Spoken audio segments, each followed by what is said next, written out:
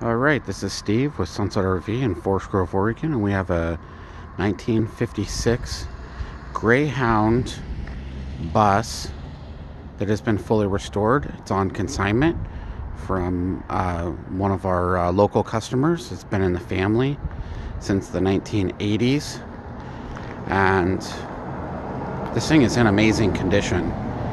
Just look at the detail and the workmanship is absolutely stunning. This bus is in several magazines and you know is being used as well.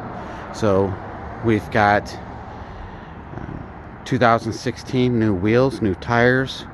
Uh, we've got recent upgrade, bigger airbags all the way around. We've got air, the air suspension has been heavily modified.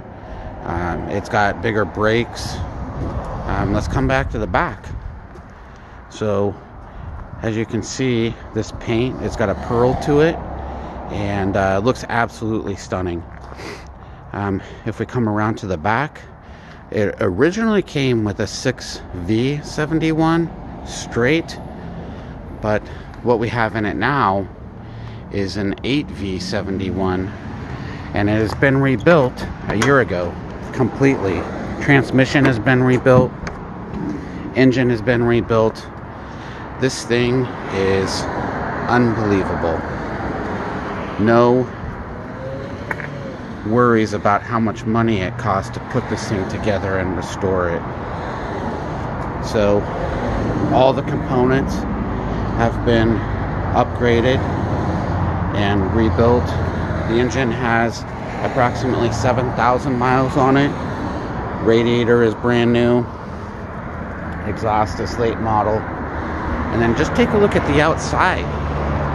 This thing is absolutely amazing. You've got the Greyhound dog on both sides.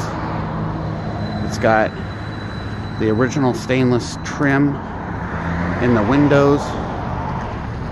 It's got the original mirrors.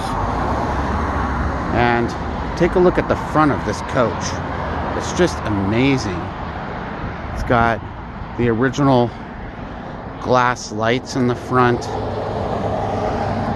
And the, the wipers are vacuum. Everything works. Um, family motor coach.